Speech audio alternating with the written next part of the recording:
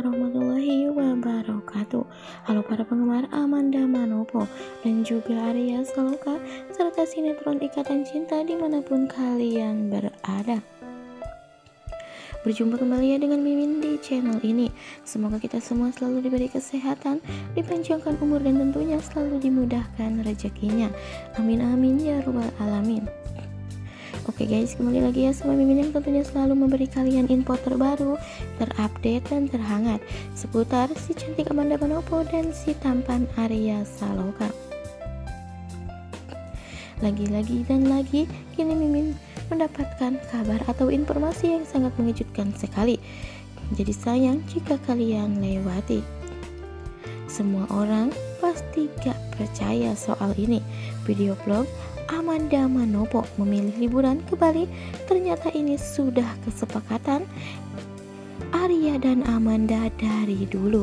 Aduh, duh, bikin heboh nih guys dengan video vlog yang diucapkan oleh Amanda Manopo. Katanya liburan ke Bali sudah kesepakatan Arya Saloka dan juga Amanda Manopo dari dulu bikin para fans Ikatan Cinta semakin penasaran dengan ungkapan-ungkapan yang dibeberkan oleh Amanda Manopo di pagi ini.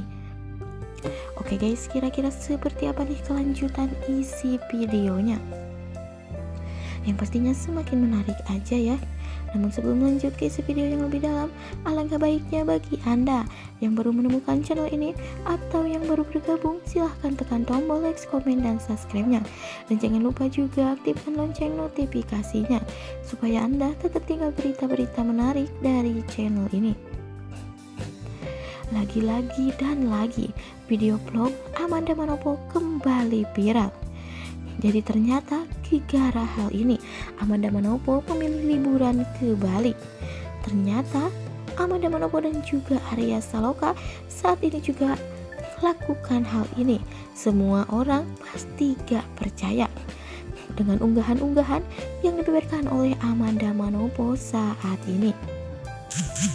Guys, gara hal itu nama Arya Saloka dan juga Amanda Manopo saat ini ramai diperbincangkan di semua kalangan sosial media. Tak sedikit warganet yang berbondong-bondong menuliskan sebuah komentarnya, baik untuk Arya Saloka maupun Amanda Manopo. Nah guys, bagaimanakah menurut pendapat kalian tentang hal ini? Silahkan bagi kalian yang memiliki pendapat, silahkan tuliskan pendapat kalian di kolom komentarnya di bawah ini. Oke, sekian sekilas informasi dari channel Mimin. Mimin pamit undur diri. Wassalamualaikum warahmatullahi wabarakatuh.